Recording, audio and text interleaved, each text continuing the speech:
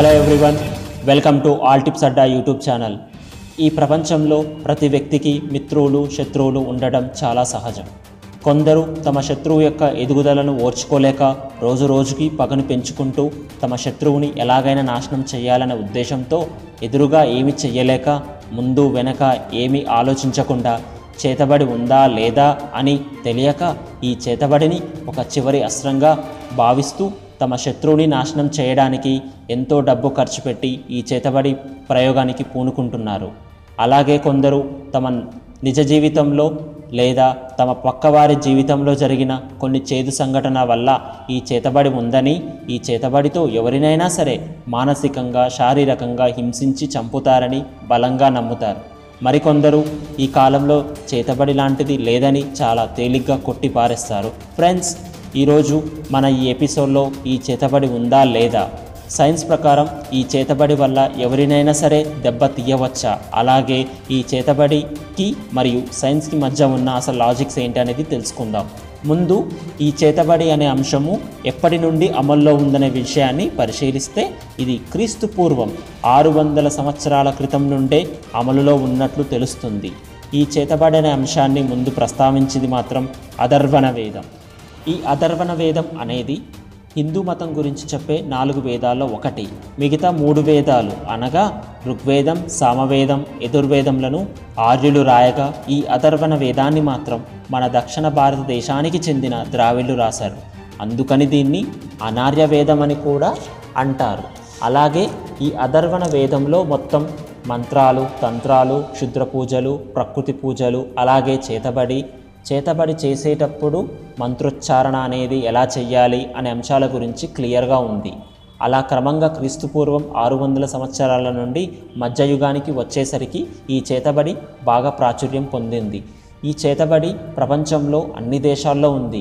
అలాగే దీన్ని ఒక్కొక్క దేశంలో ఒక్కొక్క పేరుతో పిలుస్తారు. ఉదాహరణకు అమెరికా లాంటి దేశాల్లో దీన్ని బ్లాక్ మ్యాజిక్ అని విచ్ క్రాఫ్ట్ అని మన దేశంలో ఊడు ఓజా చేతబడి అని వివిధ రకాల పేర్లతో పిలుస్తారు. మన దేశంలో కేరళ ప్రాంతంలో ఈ చేతబడి మరి ఎక్కువగా ఉంది. అలాగే ఈ చేతబడి చేయడానికి ఒక్కో ప్రాంతంలో ఒక్కో రేటు ఉంటుంది.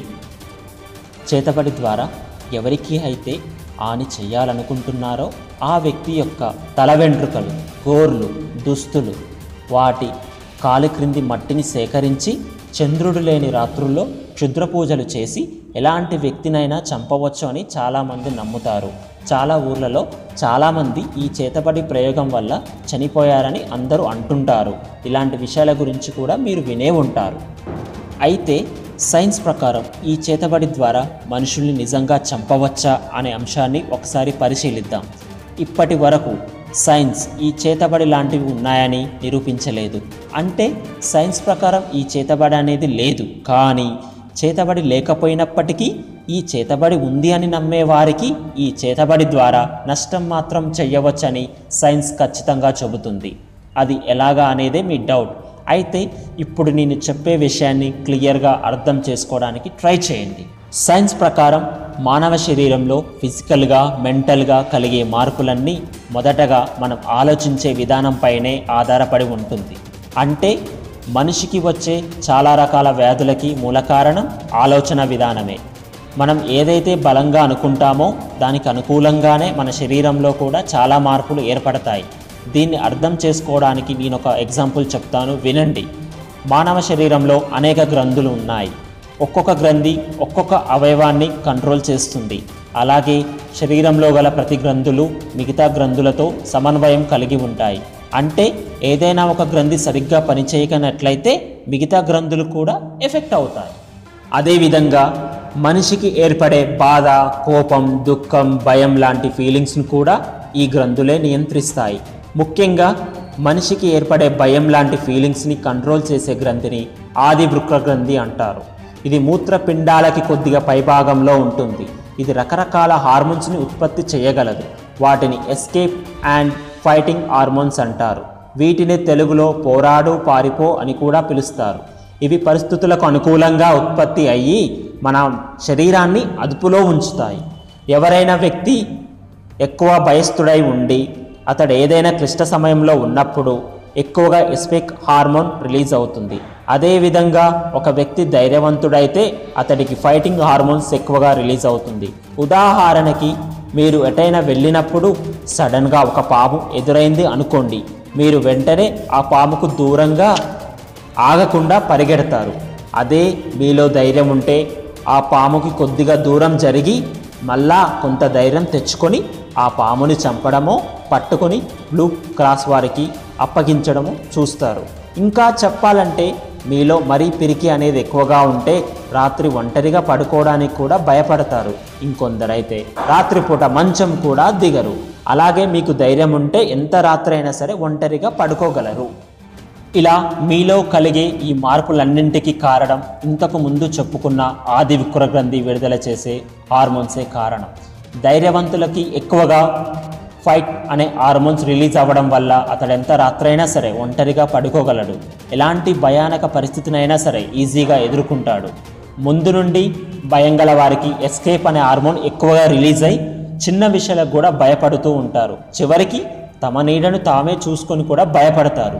మరీ పిరికితనం ఎక్కువగా ఉండేవారికి క్రమంగా ఈ ఆదివృక్ర గ్రంథి అనేది సరిగ్గా పనిచేయక మిగతా గ్రంథుల్ని కూడా ప్రభావితం చేస్తుంది. దీనివల్ల చాలా ఆరోగ్య సమస్యలు ఏర్పడతాయి. ఈ విధంగా మీరు చేతబడి ఉందని బలంగా నమ్మడం వల్ల మీలో పోరాడే తత్వం నశించి మీకు వచ్చే ప్రతి సమస్యకు కారణం ఈ చేతబడి కారణమని నమ్ముతూ మెంటల్గా ఫిజికల్గా బలహీనపడుతూ వస్తారు. నిజానికి ఒక వ్యక్తిని చంపడానికి చేతబడి చేయాల్సిన అవసరం లేదు. చేతబడి ఉందని అది నీపై ఎవరో ప్రయోగించారని నమ్మిస్తే చాలు. ఆ భయంతోనే సగం చావుకు దగ్గరవుతాడు.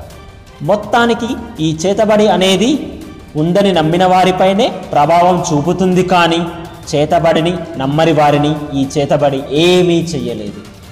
చివరగా ఒక మాట ఫ్రెండ్స్ మీరు ఈ లేని చేతబడి బారిన పడకుండా ఉండాలంటే మీరు ముందు చేతబడి లేదని బలంగా నమ్మండి.